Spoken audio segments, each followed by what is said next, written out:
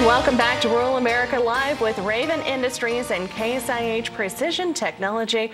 Of course, you're an important part of the show, and we want to hear from you. So give us a call. The phone lines are open now. The number to call is 877 731 6733. I'd also be curious if somebody was at Farm Progress Show and they had the chance to see the unveiling. I'd like to hear your feedback. So, questions, comments, give us a call.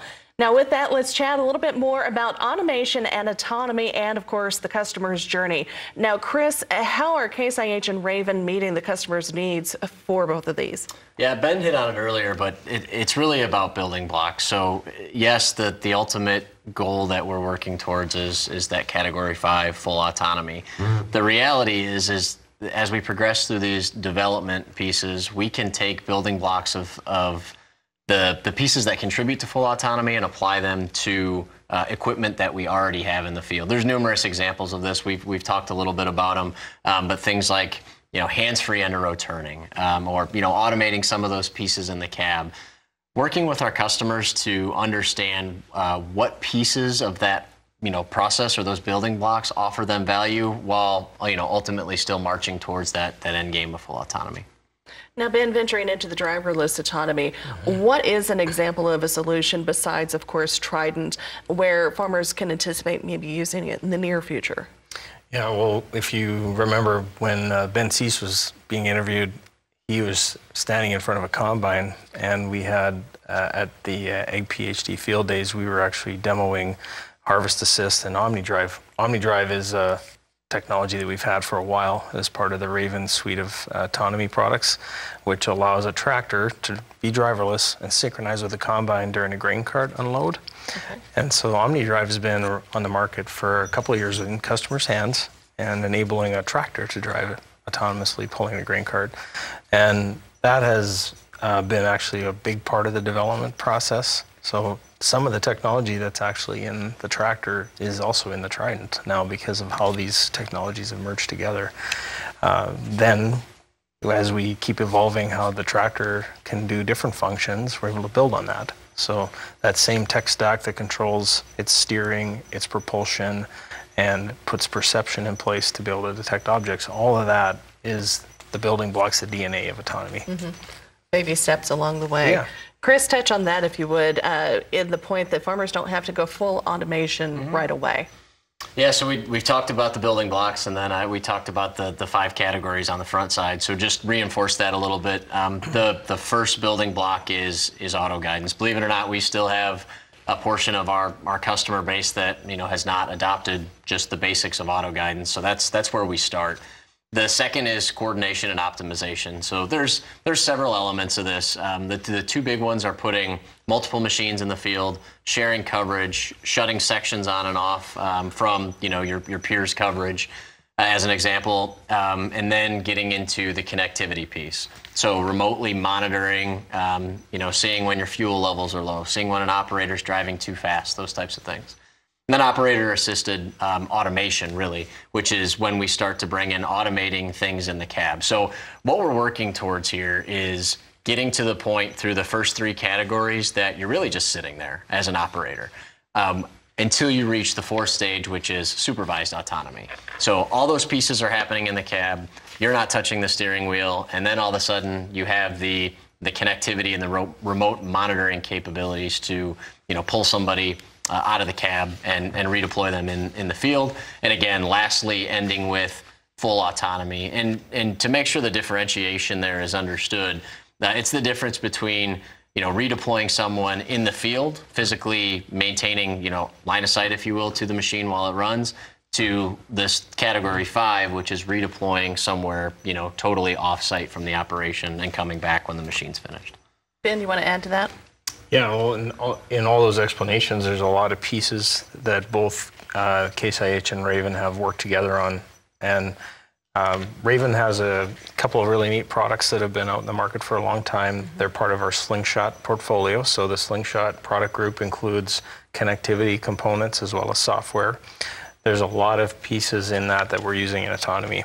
And uh, I would like to point out, like JobSync, for example, is uh, where we're able to coordinate machines today. So even if they're being operated by uh, skilled skilled operators and there's no autonomy in there yet, having multiple machines in the field is is complex. They need to each know where they are, where they've each done their job, and you want to make sure they're not uh, running over each other or overlapping. We also want to be able to compare, you know, how are machines performing, where are they, and as Chris mentioned, you're doing things like planning the next job. Where do they go next? When will they wrap up the field that they're working on? How do we uh, plan the optimal logistics so that they're traveling field to field efficiently? All of that is part of the, the software tools that have been in place for a while, and now we're seeing those uh, flow into autonomy. Take it into another level. Yeah. Chris, would you like to add more on that? Yeah, I think what Ben and I are both saying here is we, we can't um, understate the importance of the connectivity element of this. And Case IH certainly plays in the space with the, the AFS Connect solutions also. But um, just to, to kind of bring it home on this point, uh, without the connectivity, the remote monitoring, the remote control, uh, none of the, the capabilities that we talk about with sensing perception in field um, operations uh, they, they can't happen without the ability to to do the remote element of it. So it is um, equally critically important that that we have those capabilities along with the the tech that you know ex- executes in the field. Is the the syncing the job sync uh, technology? Do you feel like we're just on the beginning of this and just sort of touching the, the end of the the nose on where we can go? Yeah, I, I think that the, when people see this in action with autonomy products, they start to see how they can actually use it in in everyday farm equipment, mm-hmm. and they're asking for how those solutions could be either adapted into their current fleet of equipment or offered from the factory as a new solution. I I see, especially as farms increase in size mm-hmm. and we see more and more of uh, fleets of equipment running, that the ability to optimize those fleets, being able to run them as a coordinated operation, is just a, a need to have for sure.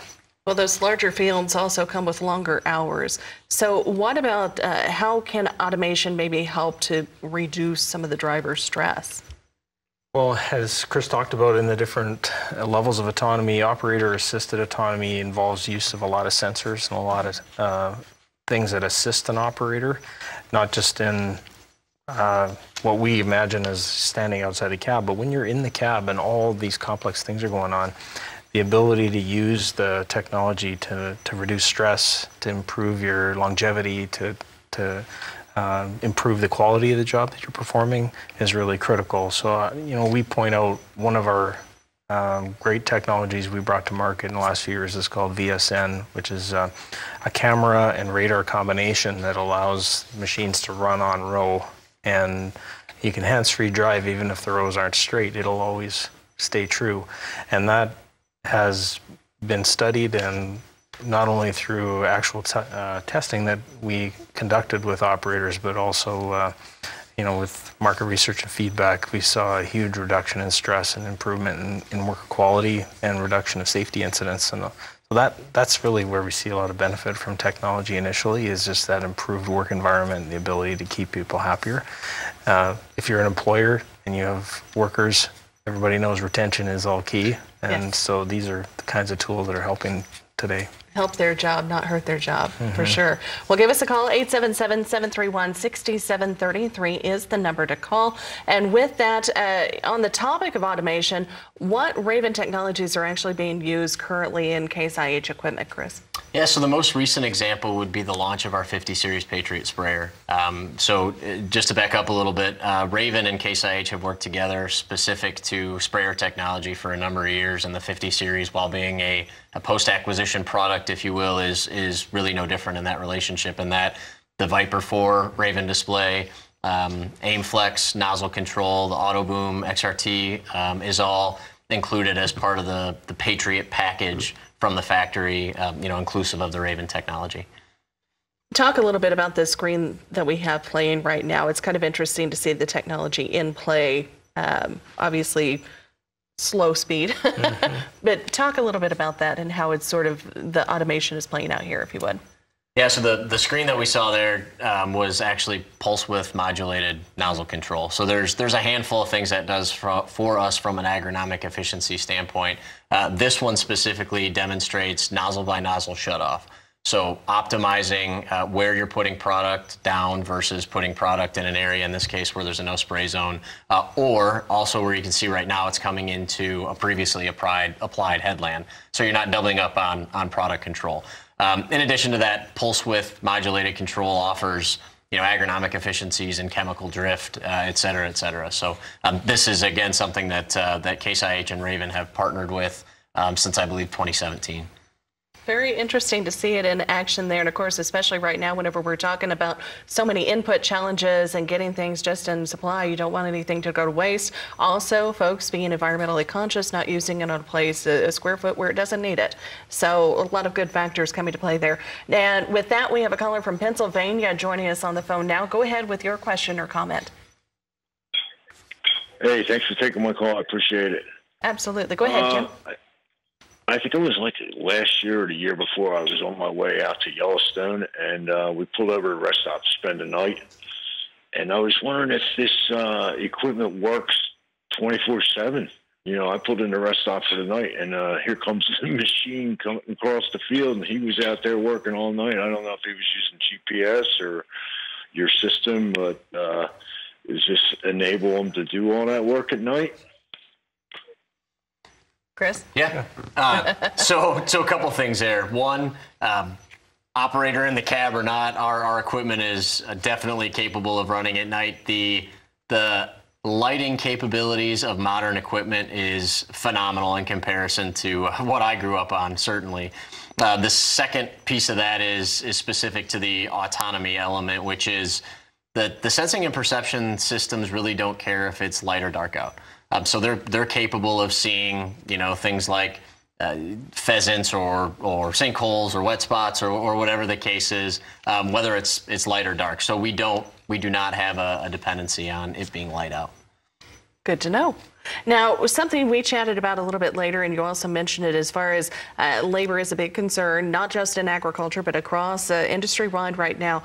Uh, talk a little bit about how, though, this is not necessarily taking away jobs, it's just sort of allowing jobs to kind of maybe relocate around the farm, so to speak. Ben, you go first. Yeah, so when we heard Brady talk about this, this is a really good example. I mean, he's he's got him and his dad, and he's got some hired employees that work full time, and then they have seasonal help at the peak seasons, and they want to increase the size of their farm. So there's a great example of how they're going to use automation to really allow that existing group of employees to increase the amount of work they can do. Uh, we also know that customers are telling us that now that they've embraced so much technology on their farm, there's a real interest in young people to come back into agriculture. It's cool to work with technology like this. It has a lot of similarities to exciting industries, right?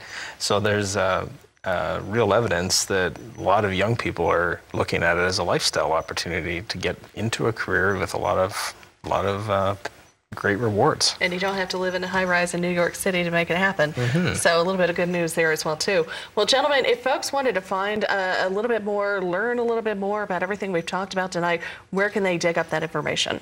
Uh, on our side, it would be the caseih.com website. Okay. Yeah, and ours would be on the Raven website. So even though we're sister brands, we do have uh, great information specific to each company on our websites. And it's specific to the uh, autonomy as well too. Yeah, so we have a, a new website, pathtoautonomy.com, which gives uh, our, our, customers an opportunity to specifically look at how autonomy products are being uh, brought to market and where they can fit on the spectrum of opportunity to, to install that automation. Okay, well, we've only got maybe about 60 seconds left. Quick last thought. What I would leave everybody with is what Raven and Case IH are doing together is just the beginning. What we see with the Trident is our establishing of a foundational uh, technology stack that allows us to scale across multiple platforms. We've heard the questions about where can we go next. I'll let you use your imagination, but point being is is we're well poised to, to go whatever direction we need to. And Ben, 20 seconds to you. Well, uh, ultimately for, for me, I love talking to customers. We want to encourage anyone who's interested to reach out to us.